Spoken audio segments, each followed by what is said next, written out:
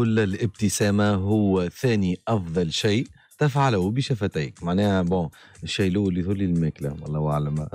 على كل الابتسام هو ثاني أفضل شيء آه، اللي تفعله بشفتيك. معناتها أي حاجة أخرى بعدها تجي تجي حكاية فارغة. أما بربي أهم حاجة بارامون كما قلت الماكلة وبعد ثاني حاجة الابتسامة. بعد الماكلة وشرب الماء نتصور معناها تجي الابتسامة معناها. Donc ابتسموا وضحكوا وحبوا الناس اللي معاكم.